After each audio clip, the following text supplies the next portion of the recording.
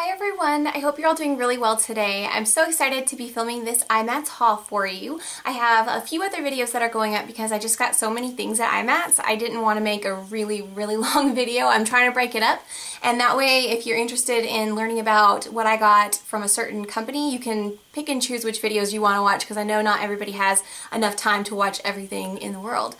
So in this video I'm going to be talking about a lot of the eyeshadow things that I got. So um, the first thing that I want to show you is from Saucebox. It is a new palette that they just came out with and in fact they said that the first time that I think that they were selling it was at IMATS and it's uh, an eyeshadow palette called Etude. So it uses the same kind of packaging that they've used for all of their things. It's got this really cool girl on there and it's just a neat package. Uh, it's like a cardboard package where you can actually take out all of the eyeshadows individually if you wanted to.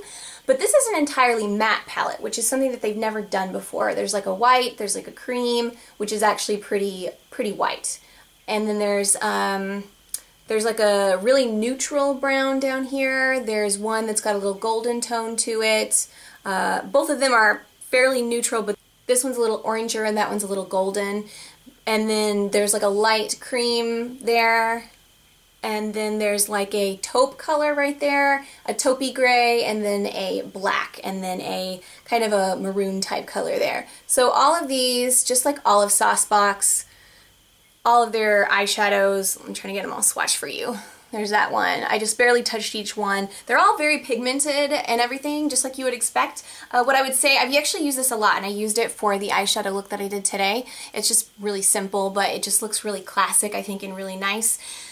Um, I will say that they blend fairly well, not the best of any eyeshadows that I've ever used. Like I would say my Naked Basics palette blends a little bit better and probably the Tarte palette that I just got, the Magnificent one, I feel like it blends a little bit better than these as well, but they're not bad at all.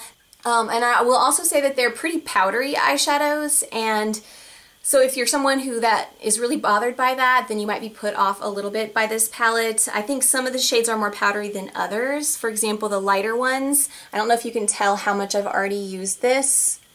I don't know if it's going to show up for you or not in the camera, but I've used this a bunch, but it still looks like I've used it in awful lot for what I have used it. just It just seems to be really powdery. If I dip my brush a couple of times, there's powder all over.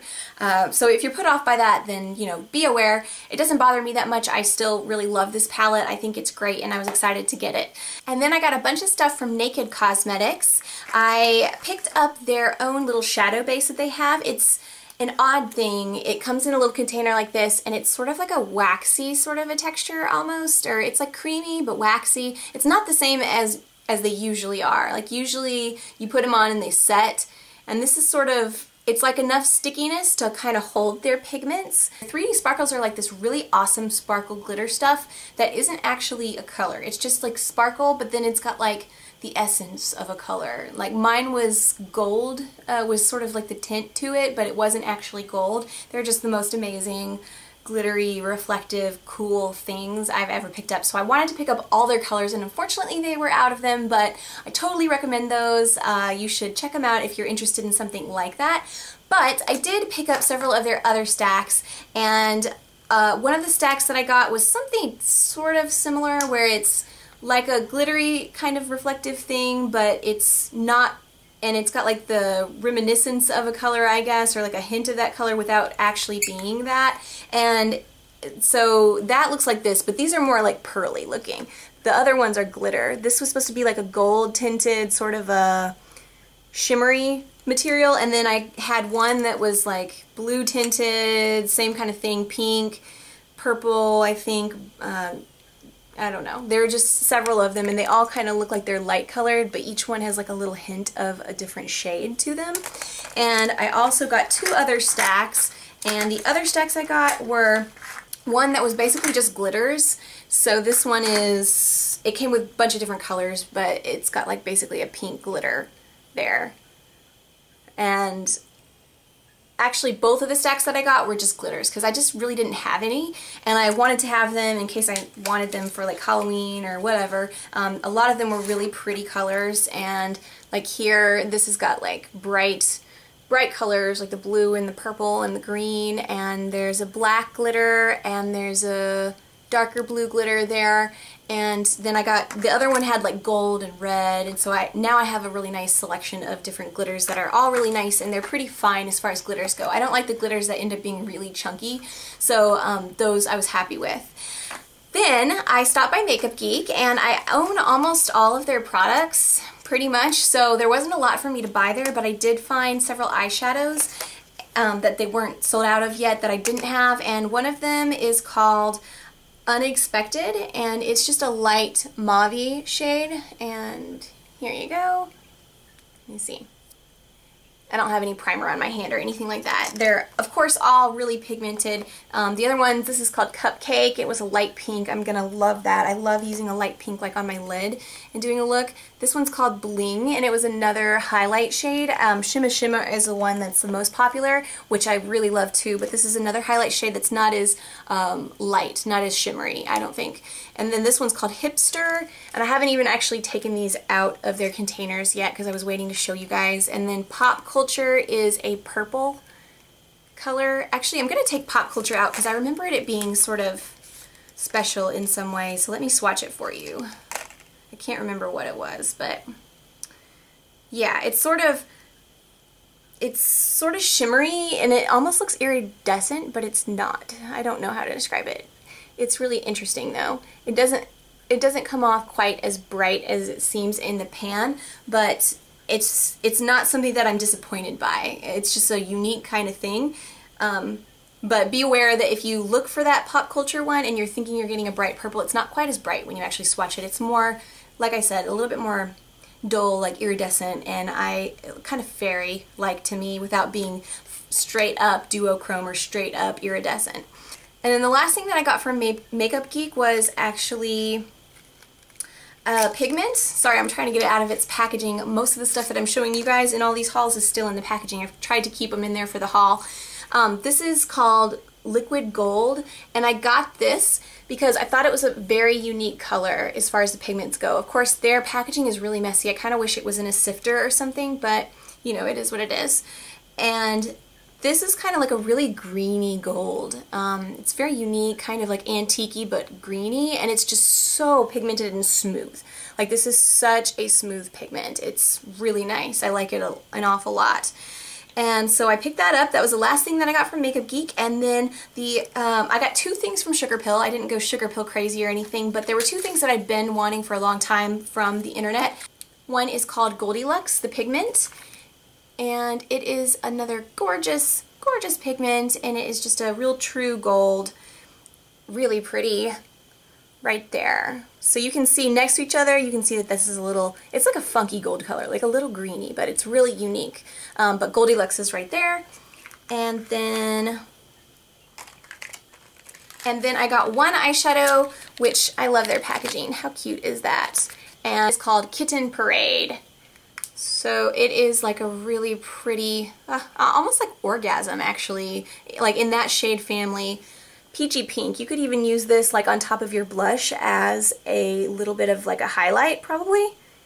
It's like really reflective, but it's it's in that same family where it's like a peachy pink with gold. So really pretty eyeshadow. And then the last company that I'm going to show you guys about in this video is one that I thought was so cool. I was really excited to find out about it. It's actually called uh, Tat2U. So I don't know, I, I don't particularly like their branding, what they are calling themselves. It looks kind of cheap and I'm not a big fan. Uh, just Tat2U. But their products were pretty awesome, at least the things that I picked up. Um, one of the things that was really awesome, if you're into brights and neons and stuff, they had the most, the brightest neon eyeshadows like you will ever find. I mean, these were pretty stinking amazing. Let me swatch them for you just to show you. Um, this one is called, so these are called Color Play, and this one is called Silly Girl. So this is definitely the brightest, and I have some bright, I have some really bright, and okay, this is no base or anything like that. They're really creamy. There it is. They're so bright, so bright. That's what it looks like in the thing. So, and these are gonna like really pop. If you used them on top of a a white base or something. And this is with no base, like I said. I just swatched it once and that's the yellow. That's really hard to find, a yellow like that. And then the orange is, and these are really, really creamy too. Like they're creamy, a little bit powdery. here, I'm just sticking it on right there. And that was the orange in the container. I hope these show up bright for you guys. In my monitor, it looks not nearly as bright as they look in person. So this is the green, and the green is called Rave Party. If I forget to tell you guys any of, wow, that looks bright actually in the monitor. These two are showing up really bright in my monitor, but the other ones didn't look so bright. But they do in person, I, I promise all of them do. And then I got a really pretty eyeshadow. They had eyeshadows that were pressed. They looked like this. And this one was called Tangerine. And this one is really unique. It's like a fairly bright, a little bit more brownish orange than, it's not as neon as the one that I showed you, but it had this really pretty tiny, tiny gold glitters in it that just made it a really unique color and super pretty if you see it in person. And then the thing that I loved actually the most though that I got from them are actually their blushes. I got two blushes. One is called Wired and one is called Naked Kiss. Naked Kiss is a little uh, peachy and Wired is I don't know, um, more neutral, mauve kind of a color. So Wired, Naked Kiss. These are so pigmented. I don't know if you guys are going to be able to tell from my fingers. I've kind of swatched everywhere. I hope they're not getting... So that was Naked Kiss and Wired. They always look a little different when you swatch them on. There. So, okay. Naked Kiss is over there. Wired is over there. And these are so pigmented. They seem to last a really long time. I mean, I put a little bit on, not expecting much out of it, and I wasn't really paying attention eh, when I got back to my hotel room, and I had like bright orange on my cheek. I mean, these look like really really like nothing special in terms of pigmentation or anything like they don't look like very bright colors they just look like pretty average but these are so awesome I really like these. I would really like to try their entire blush range actually. I would really be interested in picking up all the rest of those but Anyway, so I was super, super impressed by them. They were like probably the one real surprise company that I wasn't expecting to see that I was so impressed with out of all of them. I was uh, pretty impressed with Dose of Colors too, which had lip products, um, but these guys, I, it was like a real surprise that I liked their products as much as I did.